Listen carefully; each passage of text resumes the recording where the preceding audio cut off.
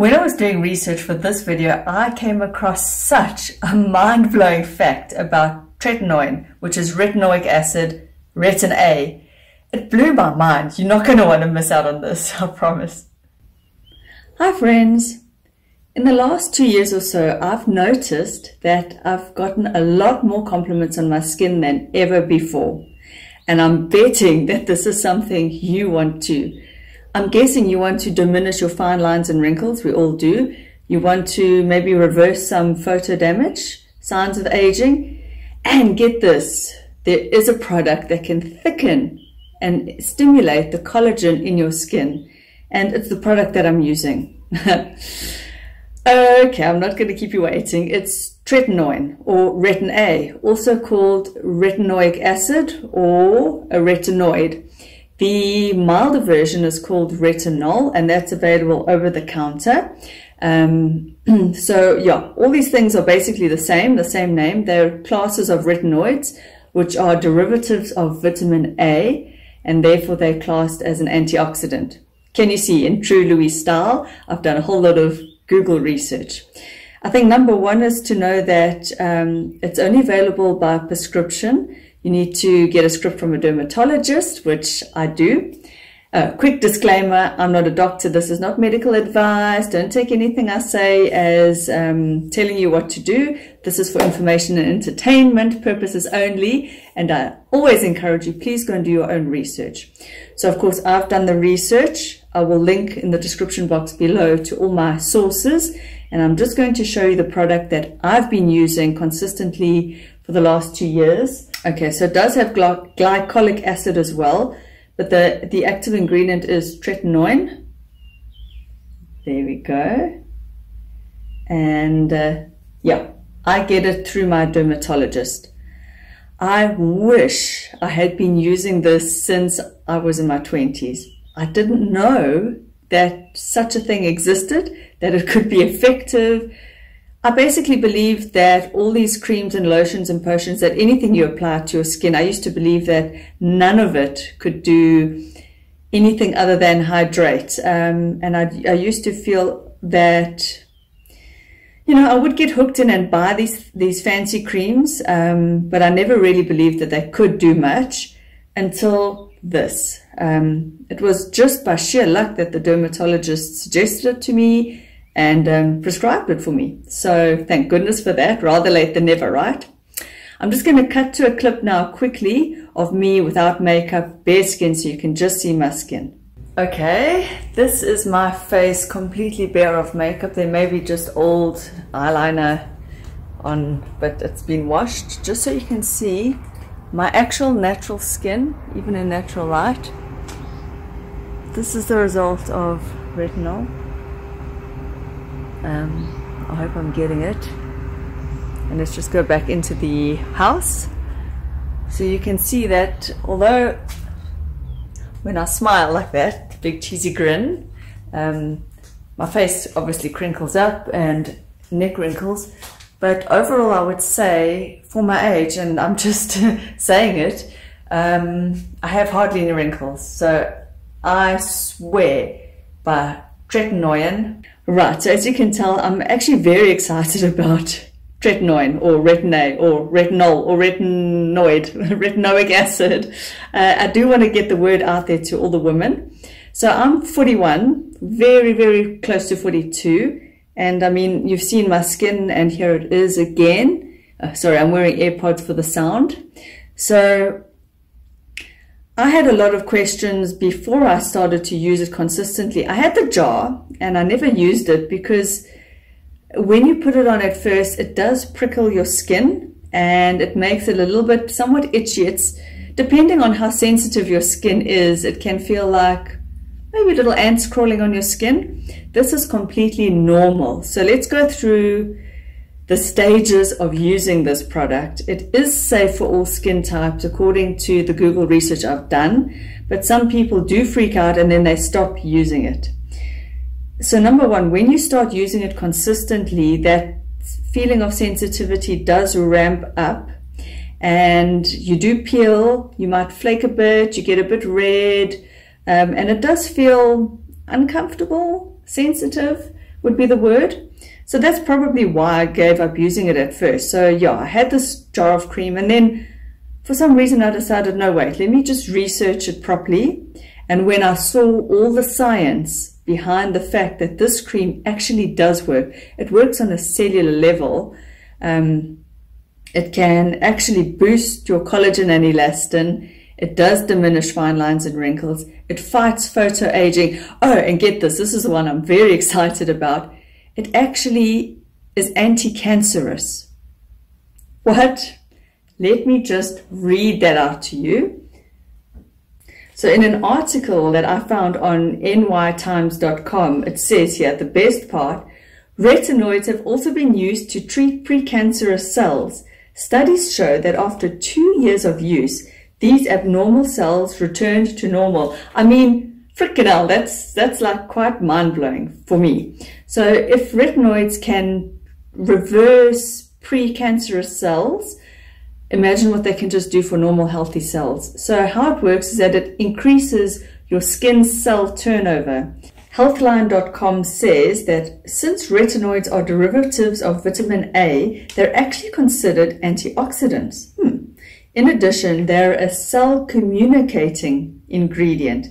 This means that it's their job to talk to your skin cells and encourage healthier younger cells to make their way to the surface of the skin. So on a cellular level, scientifically, now let's ask, how does it work?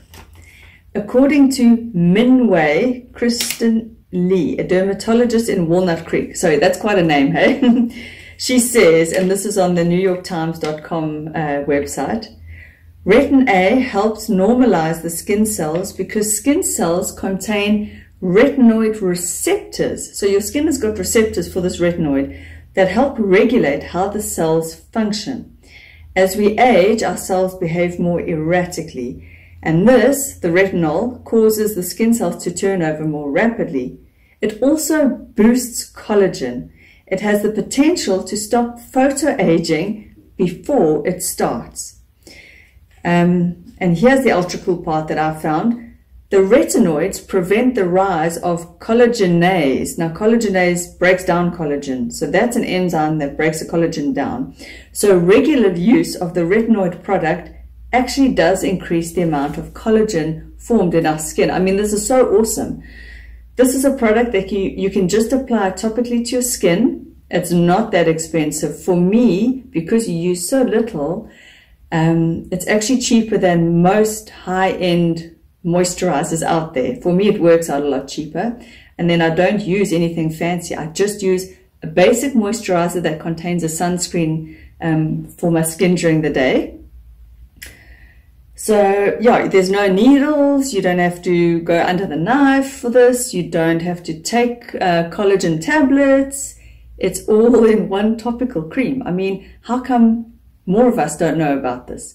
I'm just going to show you now quickly how I actually use it and we can go through some of the questions while I talk and show you. Um, I only use it at night. It's That's what's recommended is to just use it at night. Generally, you will build up a tolerance. So yes, you do go through that initial phase of peeling, flaking, redness. And initially, when I first started to use it, I did break out. So a few pimples around the chin and stuff. So generally with uh, retin A or retinol or retinoids, your skin gets worse before it gets better. But mine now is retinized, which means it's used to the retin, A. And uh, yeah, I can use it quite comfortably. I do find if I use it every single day, it gets a little bit more irritating and my skin gets a bit sensitive. So I've come to a comfortable medium now where I use it every second day. So not every single night. Sometimes I do. I did try and build up to every single night, but then I do find sometimes my skin gets, um, it's quite sensitive to the touch. So yeah, what I do is also to stop my skin reacting too badly to it is I, I don't generally wear makeup during the day like base or anything like that. Yay, because of this. And so I just apply it onto my face unwashed at night, sleep um, with it on and then I wash it off in the morning and then I put my sunscreen containing moisturizer over that. So literally this is all I do. Um, I, I was going to film this at night while I was doing it, but the lighting is so bad. So I love this stuff so much. I often joke that I could just, I want a bath in it. Can you imagine, hey? So it's a pea-sized amount. I'm not going to do too much now because obviously it's daytime, but just to show you. And the creams are stored in opaque packaging or dark jars because it is sun sensitive. So this will break down in the sun, which is also why they recommend you use it at night. And I actually use a little bit on my hands as well, back of my hands, which to make them look lovely. I use some on my chest here. That's why I'm wearing something on my neck. I dab it all around here, here, my nose. And according to healthline.com on their article, I just dab, dab, dab everywhere and just rub it in. You can go quite close around your eyes.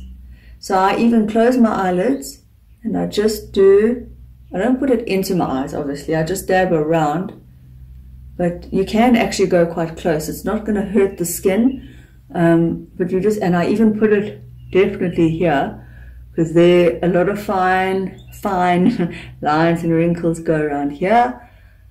Literally just dab a pea-sized amount, a little goes a long way, and you can build up to more, And um, there on my hands as well. And whatever's left over, I just rub everywhere, everywhere. I, I really do wish I could bath in the stuff, but obviously you can't afford that. So little bit, it's last one little tub like that, jar like that could last me easily six months, eight months, depending on how often I use it. So over two years, I've only used like two, maybe three, three of those. And also you can see, I'm, I'm starting to use it on my decollete, or is that the right word for this place? and I'm using it a little bit on the back of my hands to prevent aging. Because obviously, as we age, we, we have these areas that show it, so we want to keep it nice and young. The area on myself that I have found um, the biggest difference, because obviously on your face, it's hard to sometimes well, no, I can see it on my face too, but on my face I also put other treatments and things. And but on my neck, I've noticed that the skin on my neck, which I mean, you can't cover up with makeup. Well, you can, but yeah. Um, this skin here seems to have improved a lot. It seems a lot, yeah, more collagen-y. Collagen-y, is that a word? It is now. uh, yeah, so obviously if I do that, there's neck wrinkles and there's old lady skin, but I'm finding that on my neck, it's, it, it is a huge improvement. And on the days that I do put it on my hands, um, I wake up and my hands look amazing.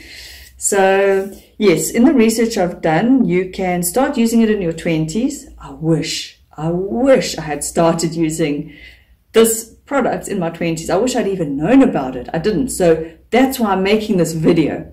This video is for every woman everywhere of any age if you're in your 20s, 30s, 40s, 50s, hell, 60s, tretinoin, retinoic acid, retin-A, memorize those names in your head and go and find a dermatologist that will write your script.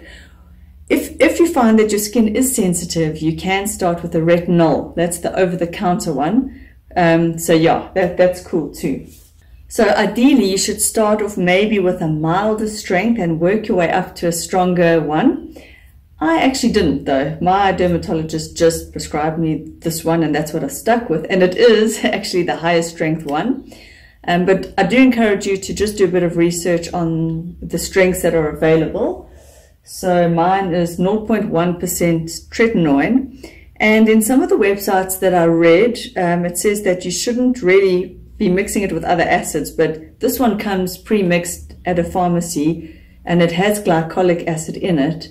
I think almost everyone should be using it. Um, it's just my opinion, but I love it and I have to share the, the news. Please, if you, if you think that there's nothing out there topically that you can apply that works, think again. This is the stuff. Bye.